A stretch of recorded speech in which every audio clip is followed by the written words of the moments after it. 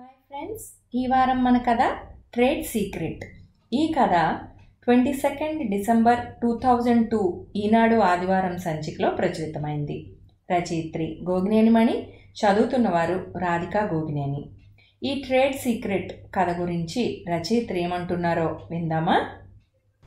Weight reduction కోర్సులోని secret గురించి సరదాగా తెలియజేసే కథ ఇది. విన్నారుగా? ఇక కథలోకి వెళ్దామా? Trade secret.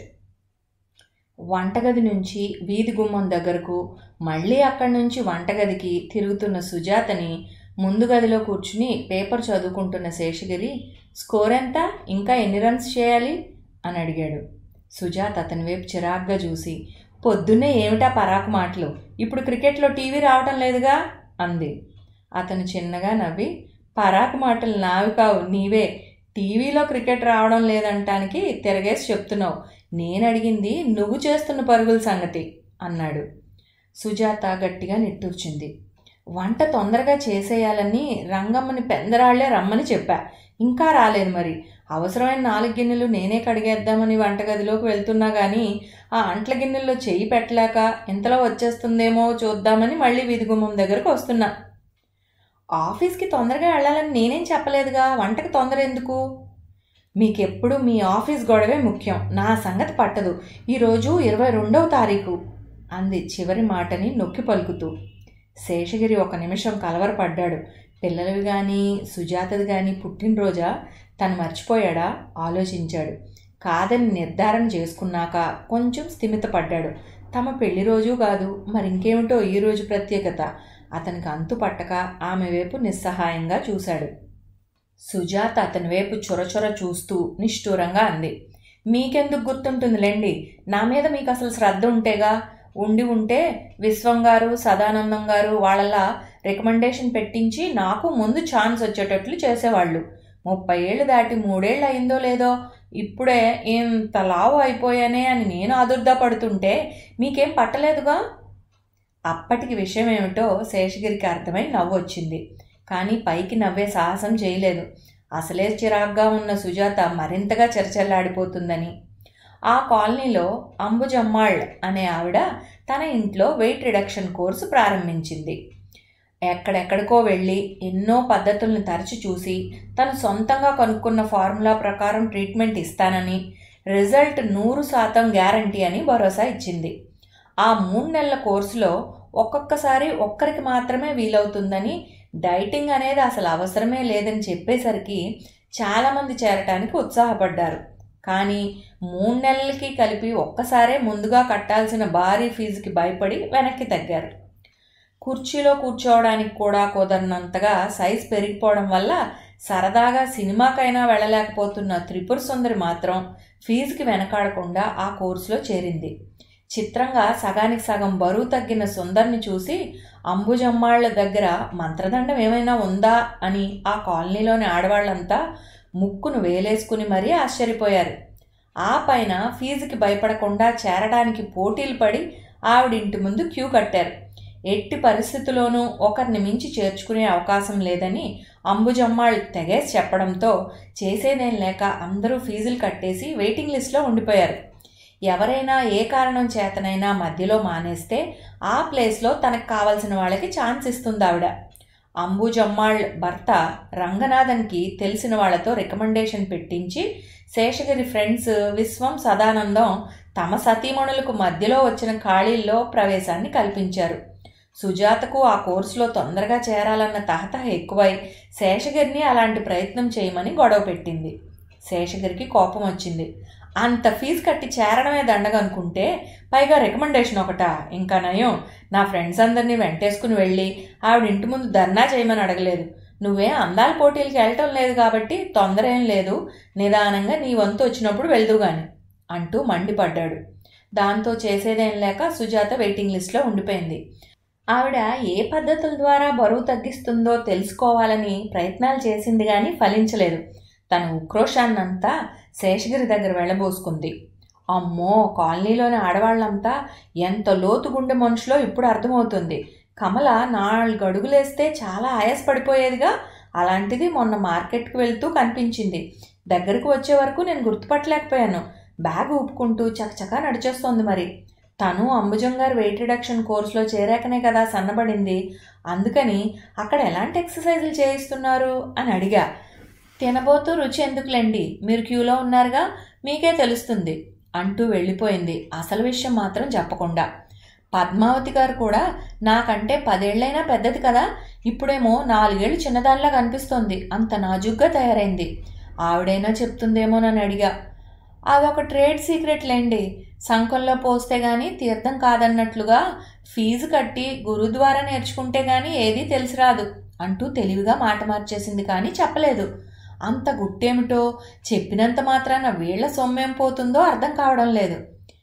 నీకు కూడా అంత ఆదుర్ద ఆరా ఎందుకో నాకు అర్థం కావడం లేదు అంటూ శేషగిరి చిరాకు పడేసరికి ఇక ఆ తర్వాత సుజాత అతని దగ్గర ఆ ప్రసక్తి తేలేదు గాని తన వంతు ఎప్పుడొస్తుందా అని చాలా ఆసక్తిగా ఎదురుచూసింది. చివరికి ఆ రోజు రానే వచ్చింది. ఆ రోజు నుంచి తొందరగా రావాలని రంగమ్మకు ముందు రోజే చెప్పింది కానీ రంగమ్మ రాకపోయేసరికి సుజాత హడావిడి పడిపోతుంది. రంగమ్మ రాకపోయేసరికి శేషగిరిలోనూ ఆందోళన ప్రారంభమైంది. కాకపోతే అతని ఆందోళనకి కారణం మాత్రం వేరే. ఆ ఊరికి శేషగిరి ట్రాన్స్ఫర్ అయి వచ్చిన సంవత్సర కాలంలో రంగమ్మ కుదిరే ముందు సుజాత దగ్గర చాలామంది పని మనుషులు మారారు. సుజాతకు ఒక పట్టాన ఎవరూ నచ్చేవాళ్ళు కాదు. పేరంటానికి వచ్చినట్లుగా ముస్తాబాయి వచ్చి చీర నలపకూడదన్నట్లుగా నడుం వంచకుండా పని చేయబోతే పనేమవుతుంది? నాకు నచ్చలేదు అంటూ ఒకరిని ఇంటి దగ్గర చూసేవాళ్ళు ఎవ్వరూ లేరంటూ ముగ్గురు పిల్లలతో పనిలోకి వస్తుంది. ఆ పిల్లల గోల భరించలేకపోతున్నానంటూ ఇంకొకరిని. ఏదైనా చిన్న పని ఎక్కువ చెప్తే చాలు. చేస్తానని చెయ్యనని అనకుండా అలివిమాను పనులు చెప్పి హింసించేస్తున్నట్లుగా అదొక రకంగా చూస్తుంది. గొడవ పెట్టుకునే రకంలా ఉంది కానీ పనిచేసే టైప్ కాదంటూ మరొకరిని అలా నలుగురు ఐదుగురిని మాన్పించేసింది. ఒకరు మానేశాక మరొకరు కుదిరే వరకు సుజాత ఇంట్లో వంట చేసేది కాదు. అంట్లు తోమడం అంటే తనకి ఎలర్జీ అని తన వల్ల కాదని చెప్పేసి శేషగిరిని క్యారియర్తో హోటల్కి పంపించేది. ఇక విస్తరాకుల్లోనే భోజనం. అలా జరిగేది. హోటల్కి వెళ్ళనవసరం లేకుండా ఇంట్లో వంట చేస్తే ఆ గిన్నెలు తనే తోముతానని శేషగిరి ముందుకు వచ్చాడు కానీ అందుకు సుజాత అంగీకరించలేదు. నెలకి ఇరవై రోజులు క్యారియర్ పట్టుకుని వెళ్తుంటే ఆ హోటల్ వాళ్ళు నాకు క్యారియర్ సార్ అని పేరు పెట్టేశారు. అంత దూరం నుంచి నన్ను చూడగానే ఆ ప్రొపరేటర్ సర్వర్తో క్యారియర్ సార్ వస్తున్నారు చూడు అంటూ క్యాకేసి చెప్తున్నాడు. నేను క్యారియర్ పట్టుకుని ఆ హోటల్కి వెళ్ళను అన్నాడు శేషగిరి చిరాగ్గా ఒకసారి. సరే వద్దులేండి అంది సుజాత. అయితే పని మనిషి రానప్పుడు వంట మానేయకుండా నువ్వే గున్నెలు తోముకుని వంట చేస్తావా? ఆనందంగా అడిగాడు. అదేం కాదు నిక్ నేమ్ గురించే కదా మీ బాధ. వేరే హోటల్కి వెళ్తే సరే ఊళ్ళో ఉన్నది అదొక్కటే కాదు కదా అంది. సుజాతను మార్చడం తన వల్ల కాదనుకుంటూ శేషగిరి నిస్సహాయంగా నిట్టూరు చూరుకున్నాడు. రంగమ్మ పనికి కుదిరాక శేషగిరికి క్యారియర్ పట్టుకుని హోటల్కి తిరిగే బాధ పూర్తిగా తప్పిపోయింది. సుజాతకి రంగమ్మ పని బాగా నచ్చింది. సుజాత దగ్గర పనికి కుదిరాక రంగమ్మ కూడా ఒక ఇల్లు తప్ప మిగతా వాళ్ళ పనులు మానేసింది. ఆ ఒక్క ఇల్లు కూడా ఎందుకు మానేయలేదంటే ఆవిడ పొద్దున్నే ఇచ్చే టీకి బాగా అలవాటు పడిపోయినని రంగమ్మ చెప్పేది. సుజాతకి టీ తాగే అలవాటు లేదు మరి. మూడొంతుల పనంతా రంగమ్మే చక్కబెట్టేయటంతో సుజాత ఖాళీగా మునుపుడి కంటే ఇంకా ఎక్కువ సీరియల్స్ని చూడగలుగుతోంది చక్కగా.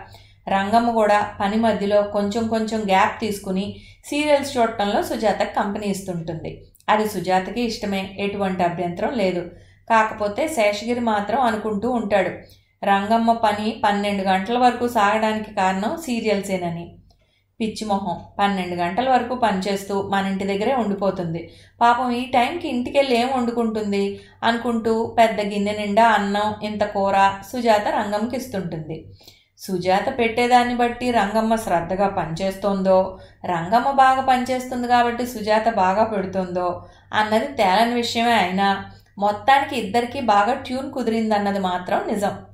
సుజాత చెప్పిన ఏ పనైనా కాదనకుండా చేసే రంగమ్మ ఆ రోజు నుంచి పెందరాళ్ళే రావాలని చెప్పినా రాలేదంటే ఏ కారణం చేతనైనా రంగమ్మ పని మానేస్తోందా? తనకు మళ్ళీ క్యారియర్ మూత మొదలవుతుందా? అనేది శేషగిరి కలవరానికి కారణం.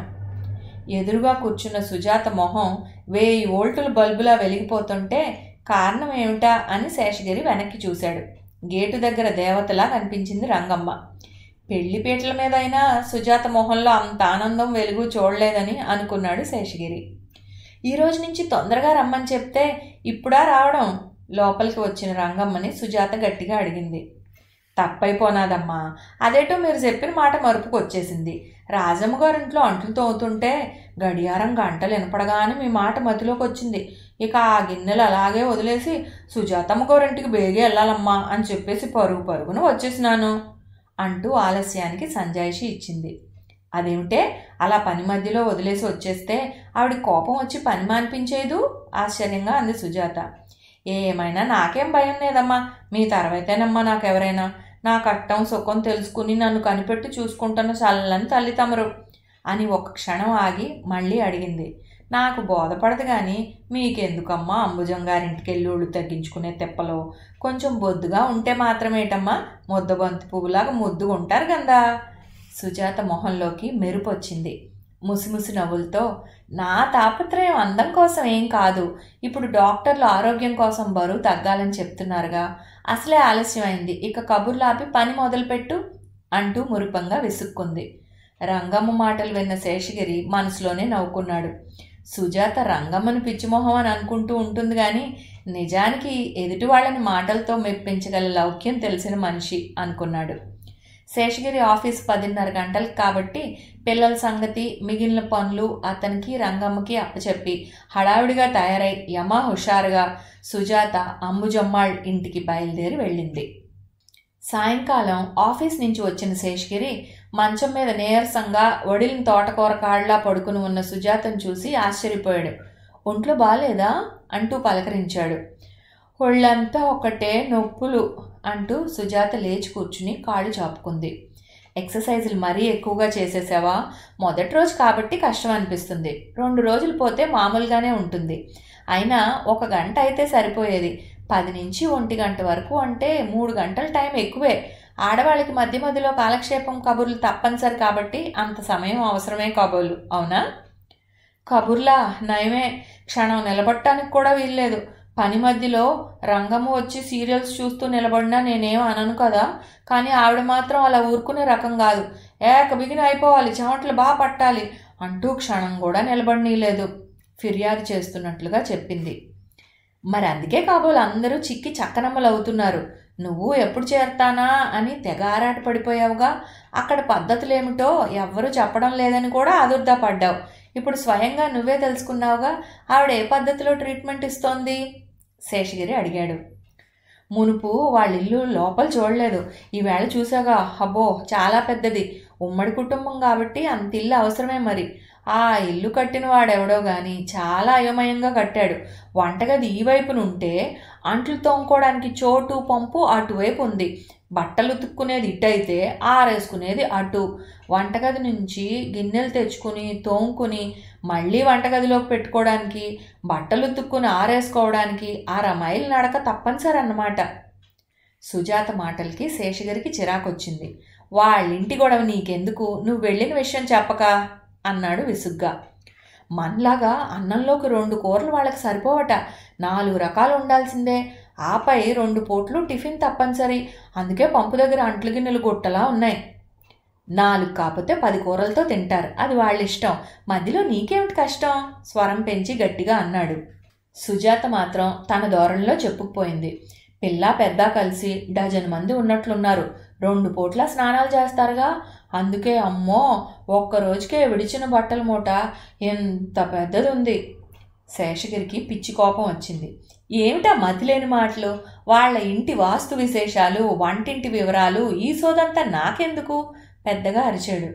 సుజాతకి కన్నీళ్ళు చంపల మీదుగా జలజలా కారాయి ఎందుకు ఏడుస్తున్నావు? అంటూ శేషగిరి కంగారు పడ్డాడు. కన్నీళ్ళు తుడుచుకుంటూ సుజాత చెప్పింది. నేను మీరు అడిగిన ప్రశ్నలకే జవాబు చెప్తున్నాను. వెయిట్ రిడక్షన్ కోర్స్ అంటే ఏమిటనుకున్నారు? అంట్లు తోవటం బట్టలు ఉతకడం ఇల్లంతా ఊడ్చి తడిగొడ్డతో తొడవడం బరువు తగ్గడానికి చక్కని శరీరాకృతికి ఇంటి పనికి మించిన ఎక్సర్సైజ్ లేదనేదే ఆవిడ రీసెర్చ్ చేసి కనుక్కున్న సంగతట. ఎవరింట్లో వాళ్ళు చేసుకోవడం అంటే బద్దకిస్తారని నామోషి అనుకుంటారని ఆవిడ అలా ఏర్పాటు చేసిందట.